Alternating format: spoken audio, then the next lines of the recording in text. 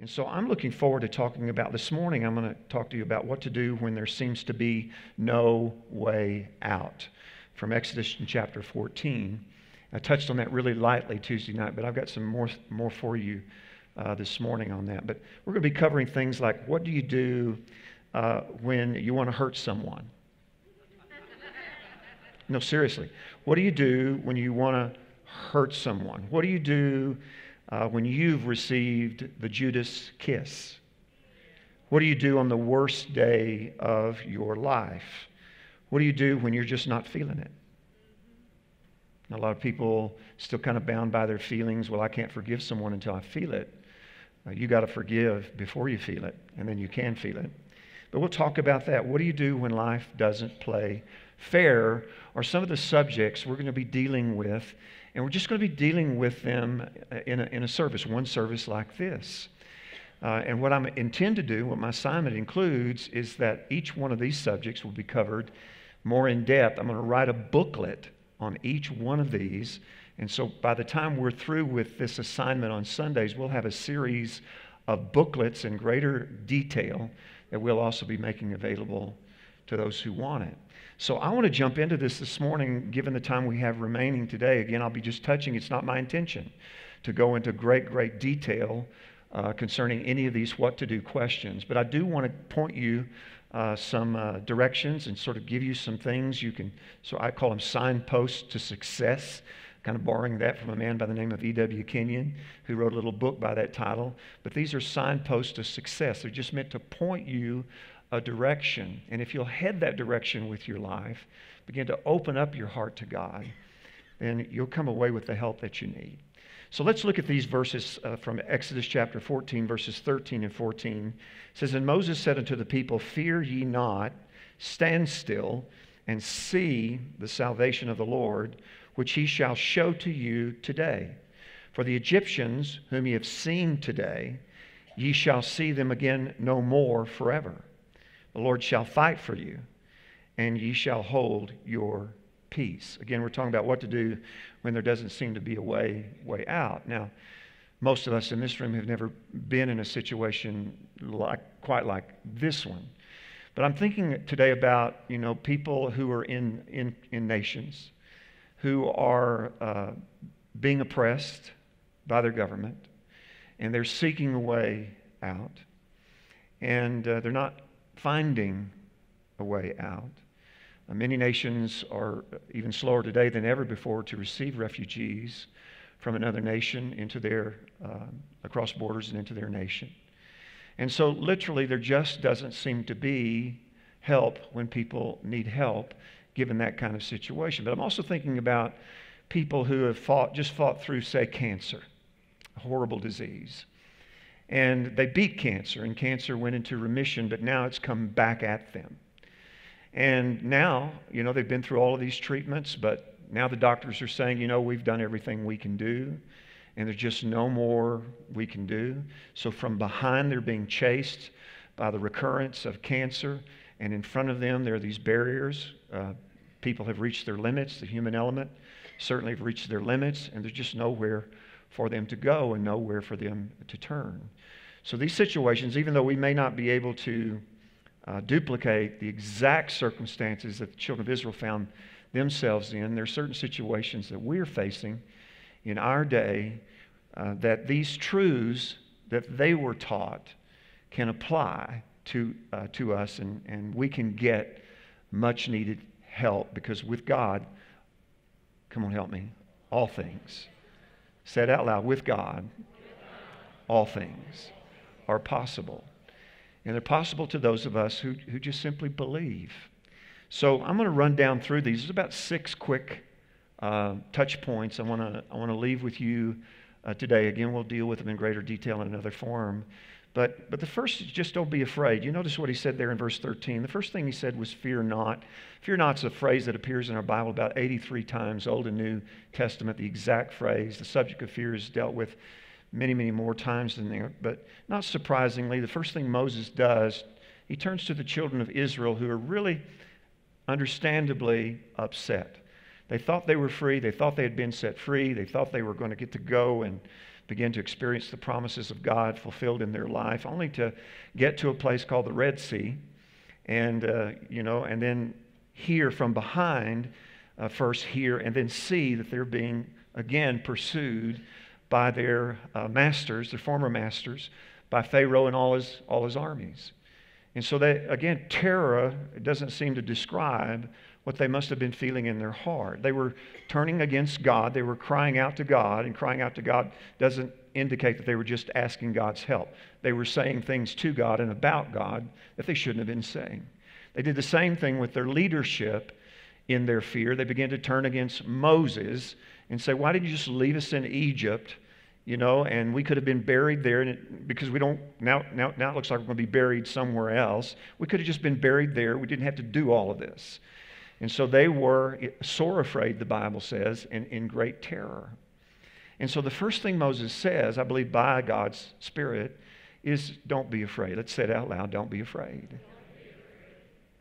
Now you say, well, that's easy for you to say, Moses, but Moses was in the same set of circumstances that the children of Israel found themselves in that day. It's clear that what was happening on the inside of Moses was not yet happening on the inside of the people that he was leading. His what insight, what was work at work on the inside of him, maybe his own confidence or trust, was certainly at a different place than what was in the children of Israel. And let me just back up and say that in this in this scenario we have we have all elements. We have the human element, we have the divine element, and we have natural the natural to deal with. The Red Sea was not uh, demonic. It wasn't suddenly placed there by demon spirits to keep the children of Israel from advancing. It was just there. It's part of the terrain. Come on, there are things in life. God's not behind it, the devil's not behind it. It's just terrain. It's, it's tough. And we get to it and we find it impossible to deal with or to cross or to handle. And so we have all of these beautiful elements, educational elements in this one tremendous story that has a really good ending for the children of Israel. And so the first thing, again, Moses deals with here is fear by God's Spirit. And let me just say this to you about fear if you don't know it. If, if we don't handle uh, in the Spirit, if we don't handle fear, if we don't handle the spirit of fear, it's almost always a precursor to defeat. We will make some of our worst decisions under the influence of fear when we're afraid. And thank God for his help. Can, can, can I have an amen there? Thank God for his help. God has not given us the spirit of fear, but what? Power, love, and soundness of mind. In fact, the Bible says that perfect love, God is perfect love, casts out all fear. But I don't think that Moses here was trying to what give a lesson on the love of God given these circumstances and again with Pharaoh and the armies of Pharaoh in hot pursuit.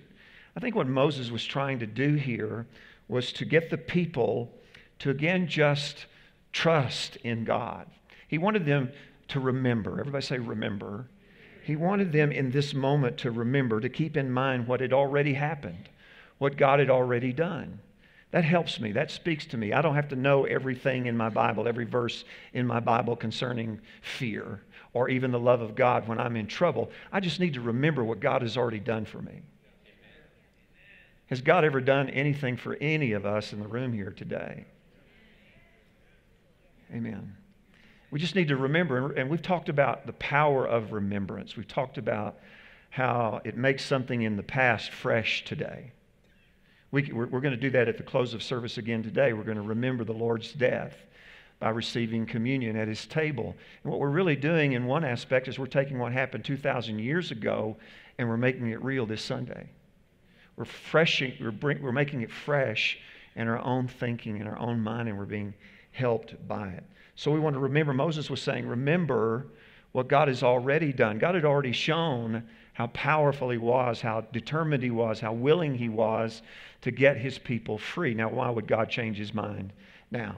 I heard one theologian one time, he's a modernist, he said, You know, the Red Sea was only just like six, six inches deep at that time when the children of Israel crossed over. They literally just waded through the Red Sea. Well, that makes the, the drowning of Pharaoh and his armies even a greater miracle. They all drowned in six inches of water.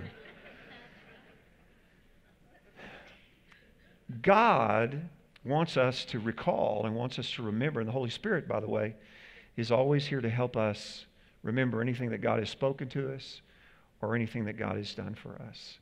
When you feel like you're up against it, you have nowhere to go, there's no way out, when everything screams at you, you're done. Remember that God is good, and He's good all the time, and He's made provision for you in the past.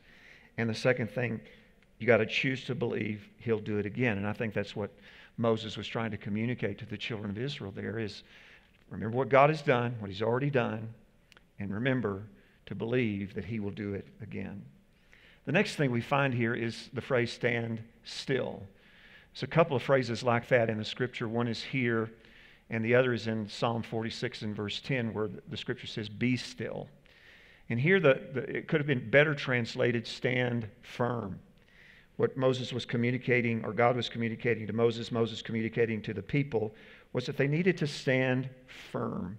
Of course, the urge when you're afraid or when you're under attack or when you're in a place where you're being terrorized is just to throw all reason aside and just run, panic. And, and what God is saying, again, through Moses to the people here, what God, I hope, is saying to us here today is you just stand firm. Don't be afraid and stand firm. The word here actually means to take your position against all odds. It means to stand like someone who has faith in God. And there's also a part of it that says, do it with somebody else. So, in other words, Moses is saying to the people in this set of circumstances, you know, just stand firm, stand in place, stand against the odds, stand like someone who believes in God, has faith in God, and stand with everybody else. Stand together against this. How many of you still believe we're better together than we are apart? Why do we believe that? Because the Bible teaches us that. Ephesians chapter 6, verses 13 and 14 say this Wherefore, take unto you the whole armor of God, that you may be able to withstand in the evil day, and having done all to stand, stand therefore, having your loins girt about with truth, and having on the breastplate of righteousness. We have the word withstand, again, meaning to stand against. We have the word stand twice, uh, which means to abide, to continue, a military term in the Greek language to actually stay your post or stay on the wall. And then he said, Stand therefore. Having done all, to stand, stand therefore. And again, I mentioned in Psalm uh, 46, two verses, verses 9 and 10, the, the scripture says, God makes wars to cease unto the end of the earth. He breaks the bow, he cuts the spear asunder, he burns the chariot in the fire. Be still and know that I am God. I will be exalted among the heathen, I will be exalted in the earth. The word here stand is a little different. Uh, it's a different word in the Hebrew language, and it literally means to relax or slacken. And the idea is that we would stop trusting in ourselves and, and instead turn our cares, our concerns over on God. Of course, in the New Testament, again, we know that. Peter wrote that in one of his letters. He said, Cast the whole of your care over on God because he cares for you. There's a basis that empowers us, a truth, a revelation that empowers us to cast the whole of our care over on God. And that's just knowing that he cares for us. So Moses is saying, stand firm and stand in place, but also stand relaxed in your posture or trusting more in God than you would trust in yourself. Trust more, look more to God than you look to yourself. Be still and know that I'm God. I have the upper hand. I have you covered. I'm God. You don't have to be. Isn't that good? We don't have to be God in every situation. Besides that, we can't. On our best day, we can't be God anyway. So we might as well let God be who He is, and let's be who we are, His people. Amen. The third thing we find here is uh, also in verse 13 Moses said unto the people, Fear ye not, stand still, and see the salvation of the Lord, which he will show you today. So the third point here is to expect God to deliver you. Actually anticipate that God will deliver you. God said again through Moses to the children of Israel, He said this He said, I'm going to show you something, and I want you to see it. I want you to take note of it. I want you to behold it. I'm going to do something here. The Hebrew word means to do or make for you, to accomplish for you, to bestow on you, or to advance you into something. The word see, watch this, means to advise yourself or to closely consider. In other words, God said, I'm going to show you something, I'm going to do it, and I want you to advise yourself in this. I want you to talk to yourself a little bit about this and what you see, and I want you to closely pay attention to what I do. He said, I'm going to show you salvation. The word salvation comes from a well known Hebrew word, Yeshua. Does that sound familiar to you? It's a word that actually means deliverance, help, victory, prosperity. The word Yeshua is applied to Jesus as uh, Messiah and Savior. And so he's saying, I'm going to show you deliverance. I'm going to give you help. I'm going to show you victory. And I'm going to help you gain prosperity. I'm going to do this for you. These two small words are used to inject a steadfast hope into the hearts of the people. I've, I, again, just walking with Jesus for as long as I have, I just, I've come to know that every promise from God is meant to carry us into a glorious future that He has planned for us. Did you know that? Every promise, and God's got a promise, I think, for everything we deal with in life. But every promise that God has given us is meant to carry us into a glorious future or to usher us into a new and defined place in God. Come on, I once was lost, but now I'm found. I'm at a new place you're at a new place as a believer. The Bible says over and over again, a number of different ways, without a vision or without hope, the people, they perish. They just wander. One translation says they live without restraint. Without a divine revelation of hope, my people perish. I think we underestimate the value of hope when we get into tough situations. And yet, hope is powerful. It puts us in a powerful place. Hope is a standard of strength even in the worst of times. The next thing we see in Scripture is that God gives perspective. When we're up against the wall and we can't find our way out, God adds perspective to our life. Uh, again, in verse 13, uh, the word says, For the Egyptians, whom ye have seen today, ye shall see them again no more forever. Wow. God wants us to see our enemies defeated. Amen? He doesn't want us to, to see them like they want to be seen. He doesn't want us to see Satan the way Satan wants to be seen. Satan wants us to believe that he's somehow on an equal plane with God and that they're just really fighting it out and it's going to be down to the wire. And in the end, the referees are going to have to make the final call and we know in this room here today, can I have a good amen? We know that the devil has already been defeated. That Satan has already fired his greatest le- weapon and biggest weapon, and he has been completely defeated. And you and I need to begin to see that, if we're not already seeing it, and keep that in, in our minds. They are already defeated. All right? God said, I'm going to I'm to take care of them today, and you'll never see them uh, again uh, ever. That had to bring hope, anticipation, courage to the lives of these people, and perspective. See yourself as God sees you. That's something else you have to have a perspective of. Again, you say, Well, I'm not perfect, I'm not worthy. Well, get in line. If that's all God has to deal with, we're all, we're all in trouble. God knows that. He knows our frailty. But God is who He is. And He sees you a certain way. And you are a covenant people. Israel had a covenant with God. They had sinned mightily against God. They had murmured against God. They had sinned against God. They put in, in place of the Almighty God a, a, a golden calf, cow, and worshiped it. And yet, God, because He is faithful, to a thousand generations, he remained faithful even in their unbelief. And he just looked, you know, and he, he wants us to see that we're a covenant people in the new, new covenant. He wanted them to see that they were a covenant people under the old covenant. They had a covenant with God, they were covenant people. It's easy to see ourselves as grasshoppers and others as giants, but we are the people of God. We are washed in the blood of the Lamb. We're born of His Spirit. Amen. We have a covenant, an everlasting covenant with God. And so we can have a different perspective than we would otherwise. But I got this in Scripture, and I want you to get it this morning if you don't get anything else, that we need to see our surroundings differently. That's what God wanted, again, through Moses, to get the people of Israel to see. He wanted to see their surroundings were different. I meditated this and I, I, thought, you know what, what are you trying to get over to me, God? And he said, he said, look at the Red Sea. In your mind's eye, just look at the Red Sea. So I tried to picture the Red Sea as best I could.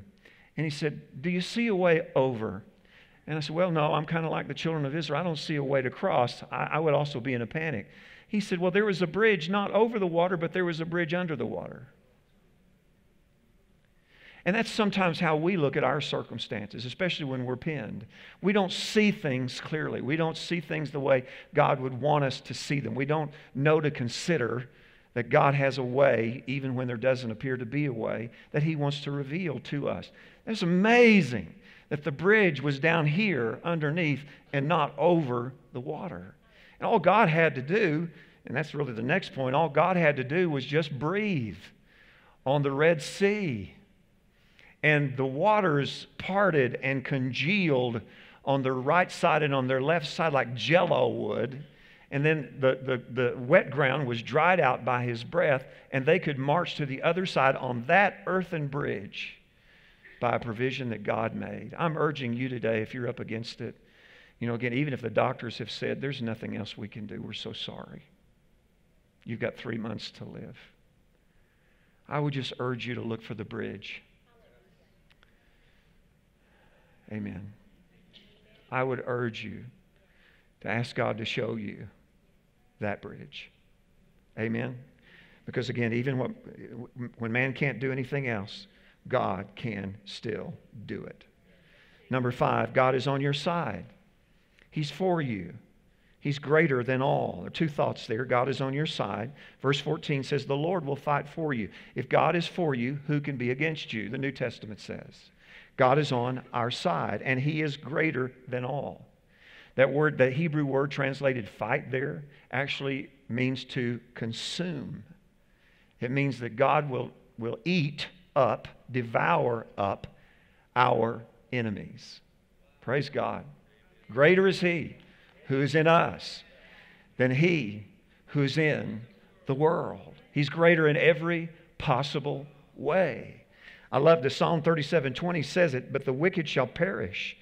But the enemies of the Lord shall be as the fat of lambs, and they shall consume into smoke, they shall consume away. And then Psalm 2, verses 2, 3, and 4 says this The king of the earth the kings of the earth set themselves, and the rulers take counsel together against the Lord and against his anointed, saying, Let us break their bands asunder and cast away their cords from us. He that sitteth in the heavens shall laugh, the Lord shall have them in derision. Sit on it, think about it. Why are you afraid? God is on your side. And God is greater than all. Amen. The word derision there means he'll have them stammering, talking to themselves, making no sense, confused. Amen. Even, the, even in Deuteronomy, the 28th chapter, the Bible says that the enemy will come out against you one way and he'll flee seven different ways. And that means he's confused. He's lost his way. Now he is weakened. He is divided himself. He came to conquer, but he is cast away as the one conquered. Amen. And finally, number six, Moses says to the people of God, he says, Hold your peace. Hold your peace. He says, The Lord shall fight for you, and you shall hold your peace. I believe this is a powerful word of instruction for any of us, again, today who just don't know what to do, and we're up against it in our situation.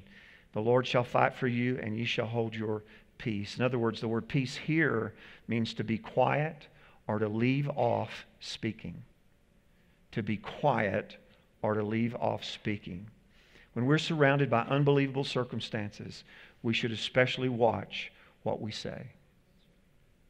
There's a time to govern our tongues so that our situations can be well governed in a panic, we usually say way too much of the wrong thing.